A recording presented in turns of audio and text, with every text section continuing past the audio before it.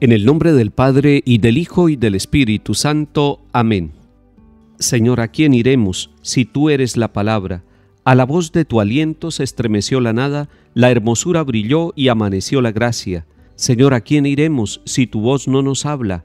Nos hablas en las voces de tu voz semejanza, en los goces pequeños y en las angustias largas. Señor, ¿a quién iremos si tú eres la palabra? En los silencios íntimos donde se siente el alma, tu clara voz creadora despierta la nostalgia. ¿A quién iremos, verbo, entre tantas palabras? Al golpe de la vida perdemos la esperanza, hemos roto el camino y el roce de tu planta. ¿A dónde iremos, dinos, Señor, si no nos hablas? Verbo del Padre, verbo de todas las mañanas, de las tardes serenas, de las noches cansadas. ¿A dónde iremos, verbo, si tú eres la palabra? Amén.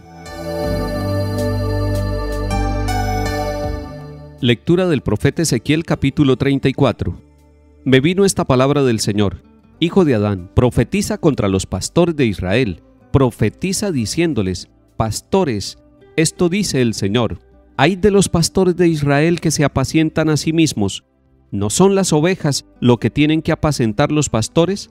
Se comen su enjundia, se visten con lana, matan a las más gordas y las ovejas no las apacientan no fortalecen a las débiles, ni curan a las enfermas, ni vendan a las heridas, no recogen las descarriadas, ni buscan la perdida, y maltratan brutalmente a las fuertes. Al no tener pastor, se desperdigaron, y fueron pasto de las fieras del campo. Mis ovejas se desperdigaron y vagaron sin rumbo por montes y altos cerros. Mis ovejas se dispersaron por toda la tierra sin que nadie las busque siguiendo su rastro. Por eso, pastores, escuchen la palabra del Señor. Lo curo por mi vida, oráculo del Señor. Mis ovejas fueron presa, mis ovejas fueron pasto de las fieras del campo por falta de pastor, pues los pastores no las cuidaban. Los pastores se apacentaban a sí mismos. Por eso, pastores, escuchen la palabra del Señor. Así dice el Señor. Me voy a enfrentar con los pastores, les reclamaré mis ovejas, los quitaré de pastores de mis ovejas para que dejen de apacentarse a sí mismos los pastores. Libraré a mis ovejas de sus fauces para que no sean su manjar. Así dice el Señor Dios, yo mismo en persona buscaré a mis ovejas siguiendo su rastro. Palabra de Dios. Te alabamos, Señor.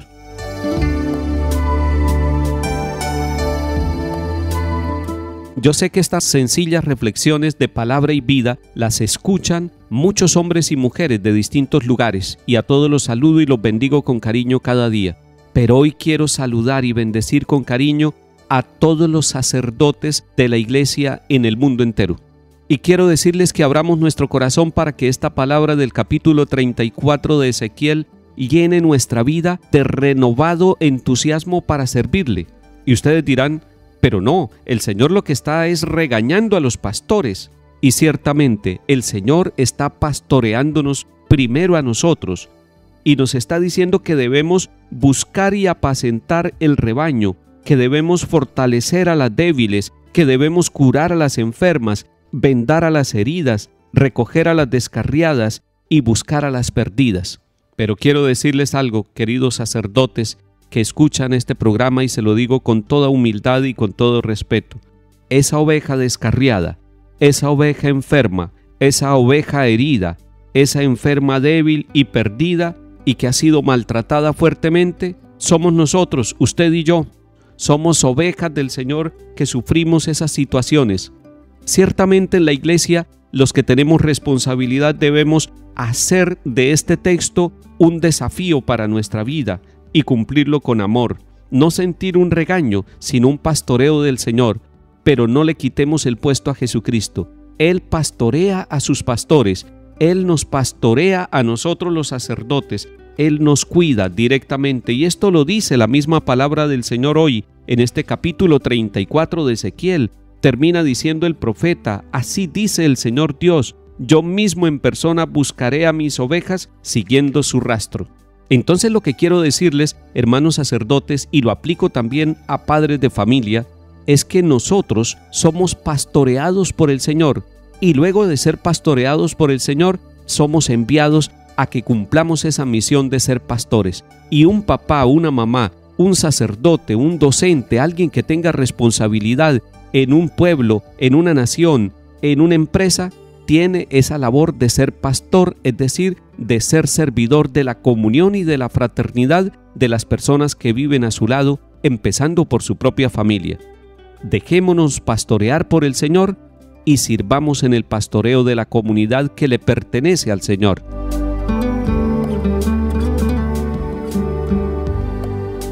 Salmo 22 El Señor es mi pastor, nada me falta, en verdes praderas me hace recostar me conduce hacia fuentes tranquilas y repara mis fuerzas, me guía por el sendero justo por el honor de su nombre. Aunque camine por cañadas oscuras, nada temo porque tú vas conmigo, tu vara y tu callado me sosiegan.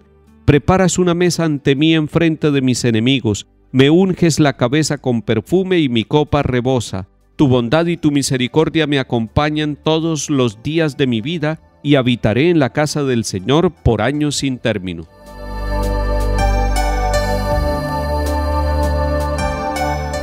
Lectura del Santo Evangelio según San Mateo, capítulo 20. En aquel tiempo dijo Jesús a sus discípulos esta parábola. El reino de los cielos se parece a un propietario que al amanecer salió a contratar jornaleros para su viña. Después de ajustarse con ellos en un denario por jornada, los mandó a la viña.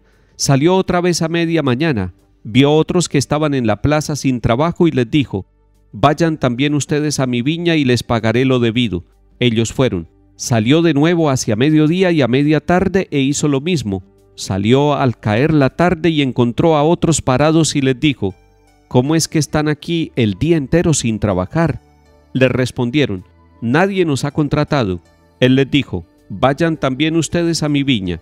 Cuando oscureció, el dueño de la viña dijo al capataz, Llama a los jornaleros y págales el jornal, empezando por los últimos y acabando por los primeros Vinieron los del atardecer y recibieron un denario cada uno. Cuando llegaron los primeros pensaban que recibirían más, pero ellos también recibieron un denario cada uno. Entonces se pusieron a protestar contra el amo. Estos últimos han trabajado solo una hora y los has tratado igual que a nosotros que hemos aguantado el peso del día y el bochorno.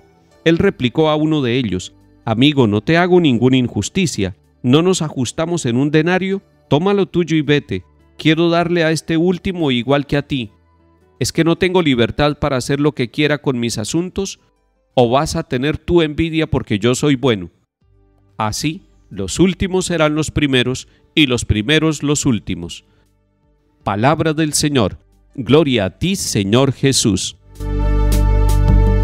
Nuestro Señor Jesucristo con esta parábola del capítulo 20 de San Mateo nos está enseñando algo más sobre el reino de Dios nos está diciendo el reino de los cielos se parece a un propietario que sale a buscar empleados a todas las horas del día. ¿Cuál es el mensaje de esa primera parte de la parábola? Que Dios toda la vida nos está buscando, que nos está buscando desde el vientre materno, en la primera infancia, en la niñez, en la juventud y luego en la adultez, incluso en la ancianidad, que todos los momentos de nuestra vida son momentos para que Dios nos busque. Es una aplicación de la parábola para nosotros. Pero también tenemos que decir que esta parábola significa que Dios nos invita a trabajar en su viña, que Dios nos invita a trabajar en su plan de salvación, que no podemos estar parados, que debemos dejarnos invitar por el Señor y que debemos estar dispuestos a recibir el premio que Él nos da, que es un denario, y el denario es Cristo mismo, es la vida en Cristo, esa es la salvación, que nuestra motivación por Dios no puede ser una motivación material, sino una motivación espiritual que nos hace llenar de alegría al final del día y que nos quita todo reclamo de nuestra vida. Hoy doy gracias por aquellos hombres y mujeres que se han sentido llamados a servir en la iglesia y lo hacen con generosidad y sin esperar un pago.